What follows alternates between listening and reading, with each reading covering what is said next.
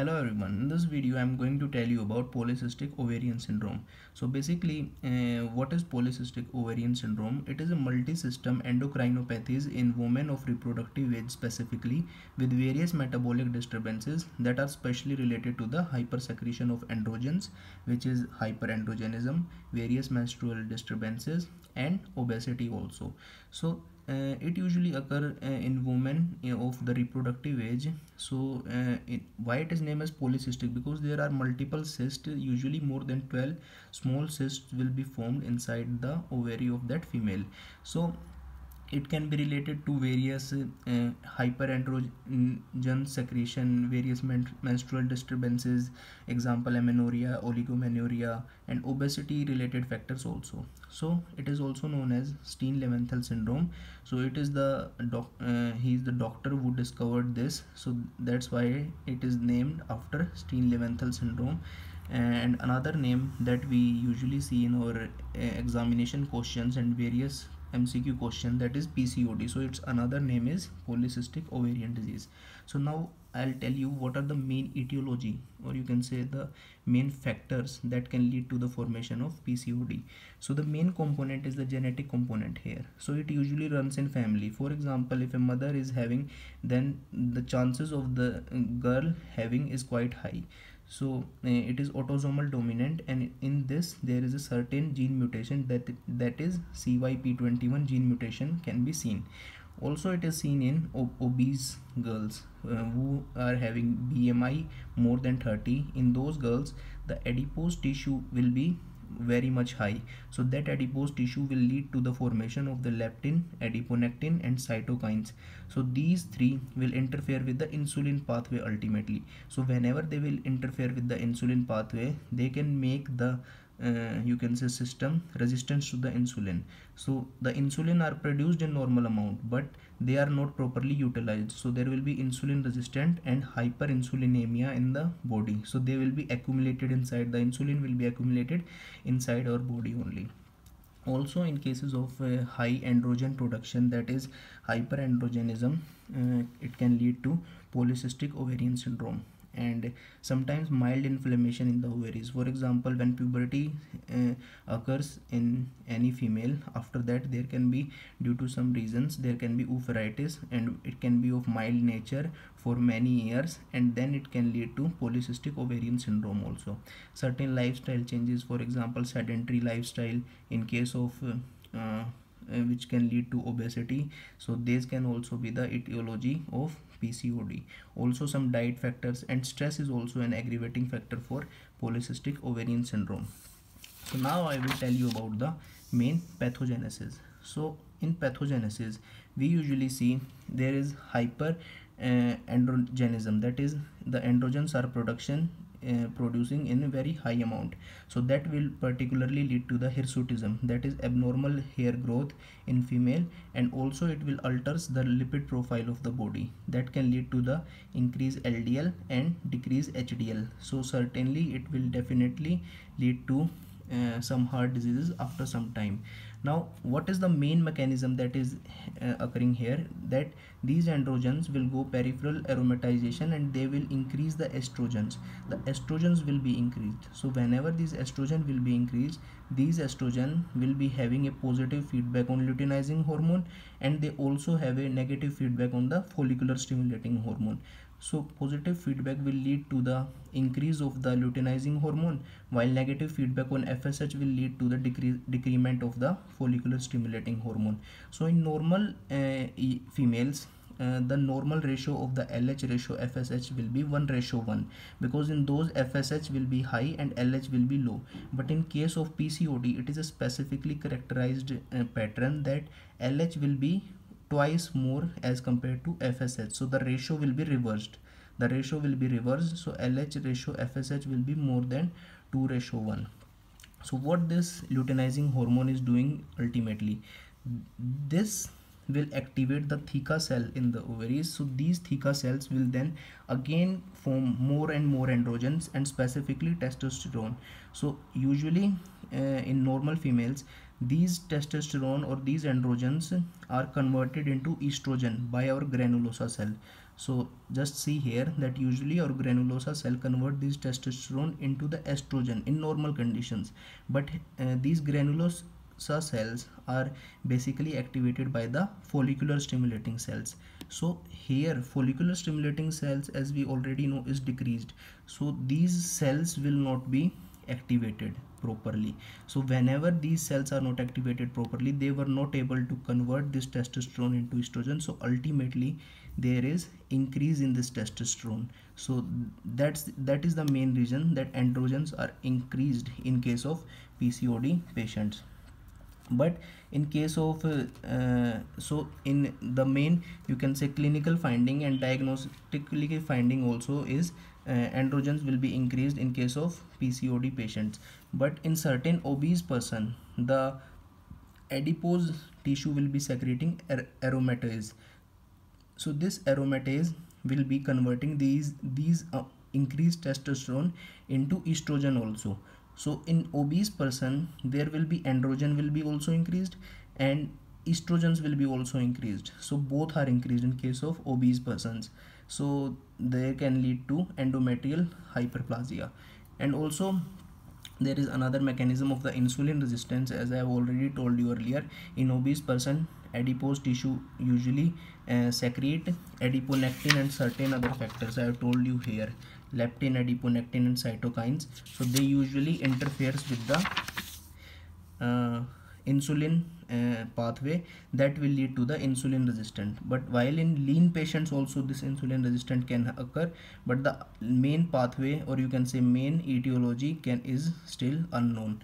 So this is the main pathogenesis which is occurring in case of uh, polycystic ovarian uh, disease or pc uh, polycystic ovarian syndrome uh, girls. So now we will see the main symptoms like what are the symptoms that these girls will be having?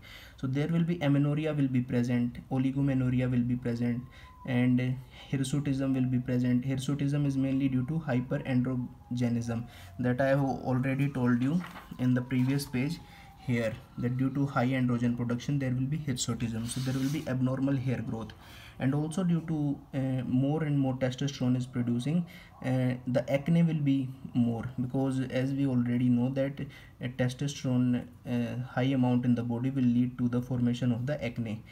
And another metabolic syndromes can be there. For example uh, increase in insul insulin can lead to the android obesity. Android obesity is basically the waist to hip ratio will be more than or equal to 0.85 so this is android ob obesity that the uh, stomach is uh, in form of an android. So the stomach is in form of an android and the waist to hip ratio will be 0.85 so this can lead to this. And also due to insulin resistance there can be hyper pigmented patches of skin hyperpigmented patches of skin around the neck axilla and below the breast. These are known as acanthosis nigricans. So this is a characteristic feature for uh, just before diabetes mellitus. So whenever if a girl is going to have diabetes mellitus this is the earliest symptom. So this is the hyperpigmentation patches of the skin around neck axilla below breast named as acanthosis nigricans also in these girls there will be infertility will be there. This is a common complaint infertility. So i have written here a, a mnemonic that is HAIR-AN syndrome. It is also known as HAIR-AN syndrome. That is from HA hyperandrogenism from IR insulin resistance insulin resistance from AN acanthosis nigricans so this from this you can remember it easily uh, HAIR-AN syndrome. From H hyper A androgenism I insulin R resistance acanthosis A and nigricans. So these are the main symptoms that you will see in case of a PCOS or PCOD girl. So now what are the main diagnoses that we have to do? So basically the main diagnosis criteria is a Rotterdam criteria. So Rotterdam criteria is basically we have three main uh, you can say uh, we have to check these three things. First of all ovulatory dysfunction. So ovulatory dysfunction that can be amenorrhea absence of menstruation cycle and it can be oligomenorrhea while hyperandrogenism that is the testosterone level is quite high that is around 70 to 150 nanogram per deciliter. So that can lead to hirsutism and acne. So this is the second criteria. Second is polycystic ovaries on ultrasonography. So whenever we will see on ultrasonography uh, or transvaginal sonography we will see polycystic ovaries. So in this on the first page i have these polycystic ovaries will be seen. There are multiple cysts and these cysts are usually 12 or more or 2 to 9 mm will be their normal size.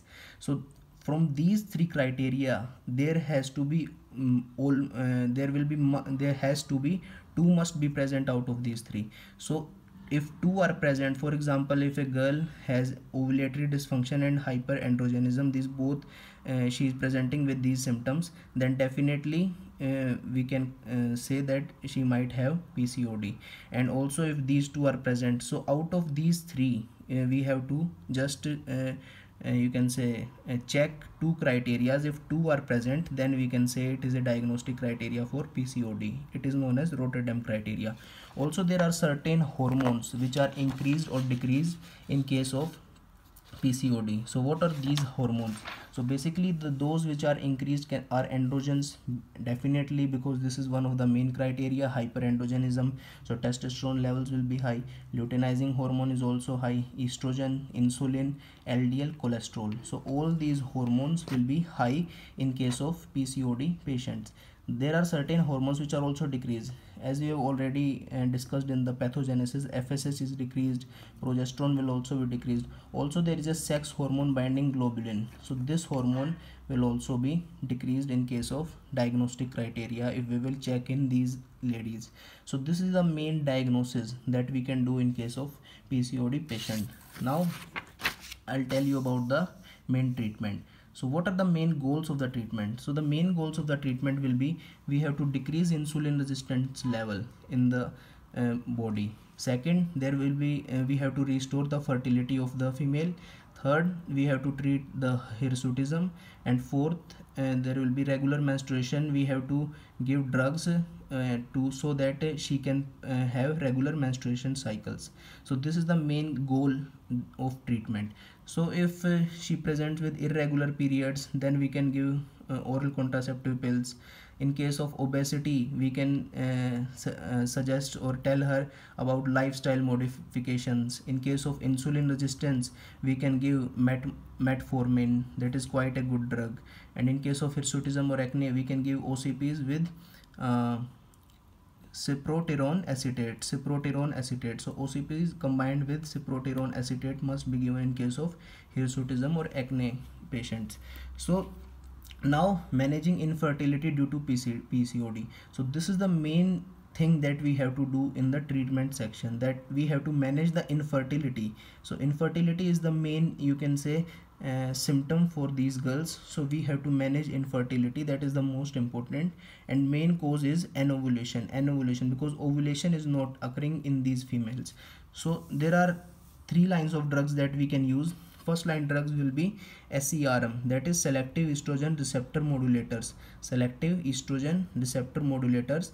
So these will be clomiphene citrate. So this is the drug of choice drug of choice to treat infertility in PCOD so this is this will be the the clomiphene citrate will be the drug of choice in case of uh, managing infertility due to PCOD and tamoxifen which can uh, it can also be used in those females who cannot tolerate clomiphene so those females who cannot tolerate this drug in those we can use tamoxifen now second line drugs will be gonadotropins we can use and LHFSH injections we can use so as to uh, maintain the androgen levels and also the FSH levels in the body. And third line drugs we can also give GnRH agonist like leuprolide and nafarelin so these can also be given as a third line drug therapy to treat mainly infertility due to pcod now there are certain uh, insulin sensitizers. Insulin sensitizers can also begin for example uh, metformin. So metformin is the most common drug and it is also safe in pregnancy. It is usually given when clomiphene citrate is not showing any effect. So this drug is used when uh, clomiphene citrate is not showing any effect and it also helps in reducing the weight of the female. So this is quite a good drug. But the main drug treatment here is for infertility in case of PCOD will be clomiphene citrate. It is the drug of choice next will be surgical treatment. So when in some cases the girl do not respond to the medical therapy then in those cases we have to do surgery. So surgery can be laparoscopic ovarian drilling LOD that is uh, the short name and laparoscopic electrocoagulation of ovarian surface that is LEOS so these are the two surgeries mainly that we have to do. So what we usually do in these surgery the monopolar current or laser is passed within the ovary to destroy the ovarian theca so the ovarian theca is destroyed uh, and this is mainly done when uh, very high doses of gonadotropin are required for ovulation. So these are the main you can say surgical treatment that we usually perform in those females who do not respond to medical therapy. So this is everything that you need to know about polycystic ovarian syndrome or polycystic ovarian disease. Thank you